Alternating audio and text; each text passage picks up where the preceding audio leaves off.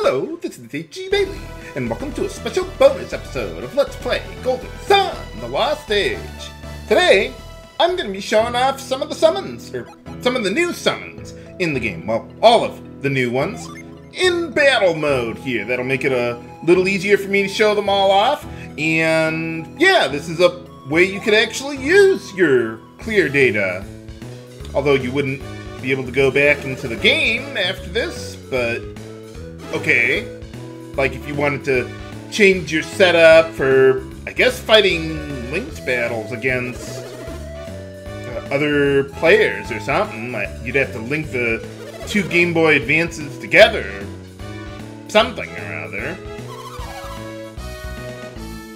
Oh. No, I suppose not. I prefer to use my head. Oh. Thanks, mysterious stranger. So, I'm guessing this means you can only use, like, your... What is it? Your main four characters, even if you have access to all eight. The first game has something like this, too. Uh, the Battle Arena, by the way, where you can... I just guess just fight random monsters, or... You could fight other players or something. Oh. Yeah, never... Well, maybe not. Never, but... I rarely worry about losing a job class or something like that in that situation. But I will be using the summons this time around. Hmm. Okay, this guy doesn't say anything from the side. Can I mind read the guy to get him to say something? Hmm? Oh, maybe I gotta get close now? Hmm. Okay, seems kind of pointless to do it that way, but alright. no, no, I'm. I don't really talk that much, evidently. Oh, are you like in the reserves or something? I guess once I beat the game, they rearranged the party or something. Oh, soon enough, Sheba. Soon enough. We'll, we'll get there.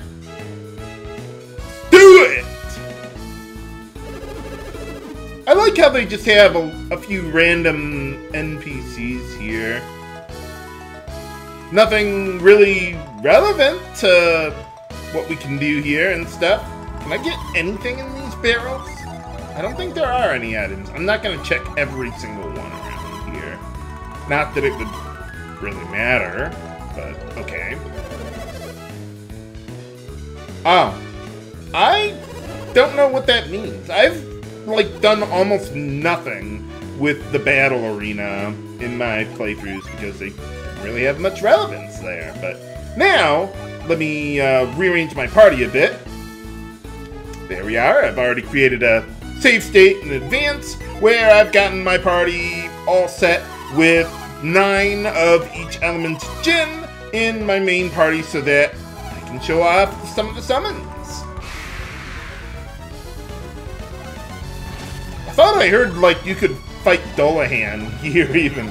That would be really bad, but...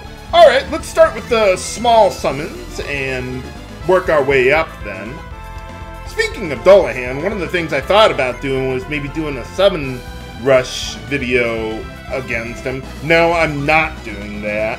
But uh, I thought about it, like maybe that could be an interesting way to show off some of the summons, but then I realized that he would annihilate me without getting a lot more levels to have the agility to do so.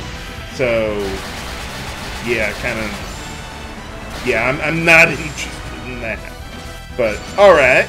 Oh, attack boost. Yeah, that could be interesting. And you get uh, the elements boost that you would have gotten same thing as the first game. Except it mixes it up because you're using different elements of Djinn at one time there. Let's see, what was that last one? Moloch. Where are you on my list? Ah, there you are. Okay, yeah, they reduce agility and stuff, but... Alright! But let's see. I guess my Djinn don't have to go on recovery like they normally would with summons. By the way, if you want to see the summons from the first game, I did a bonus episode back there of all the basic Djinn that only used one element for each summon and all that. So, yeah, I'm not going to do that again here, but I would like to show off the new ones at least.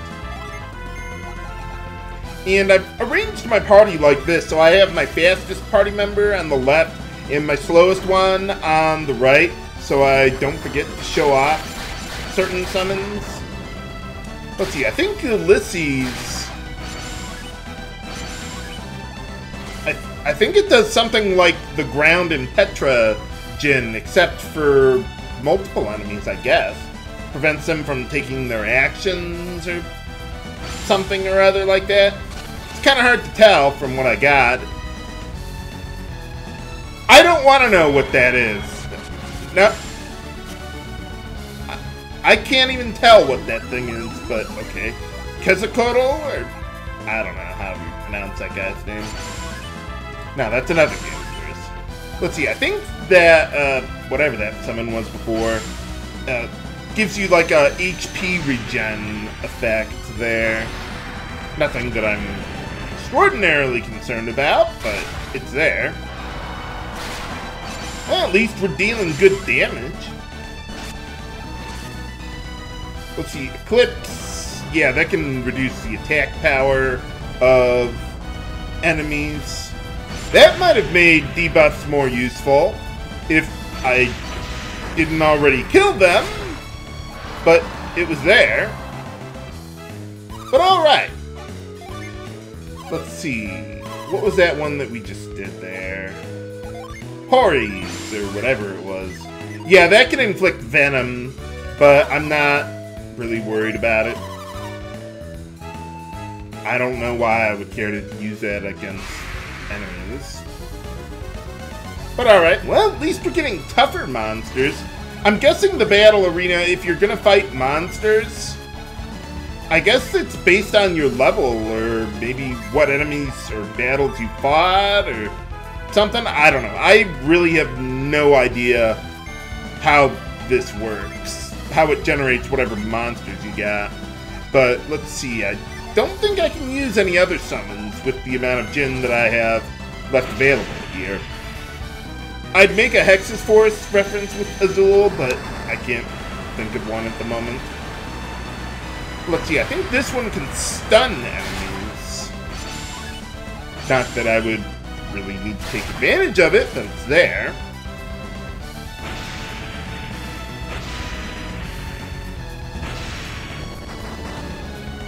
Yeah, of course we've got robot firing missiles. Well, if you like that, you'll like my next main LP. Soon enough. Soon enough. Hmm. See, according to my source, it says at the end of the next turn, missile is used if you summon Daedalus or something. Yeah, I don't really know much about that.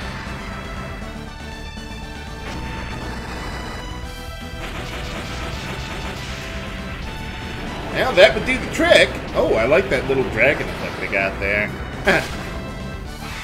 Yeah, look at that damage. Not bad. Let's see. Yeah, Catastrophe, that can reduce the target's Psynergy points by 10% of mass, which it would be pretty useless. So, yeah, I wouldn't bother with it, but we got the two ultimate summons left. That we got, where was that? Anemos Inner Sanctum. At least we got tough enough enemies that might be able to survive it. You know, I'll show off Ch Charon or Karen, however you want to pronounce it. Again, even though we saw that during the, what was that, the Dullahan fight there, but same difference, it can inflict instant death on targets. Otherwise, it just deals mass damage.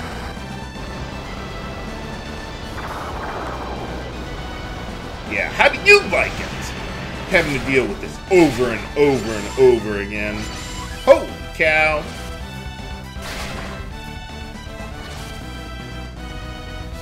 And probably the most overpowered and useless summon.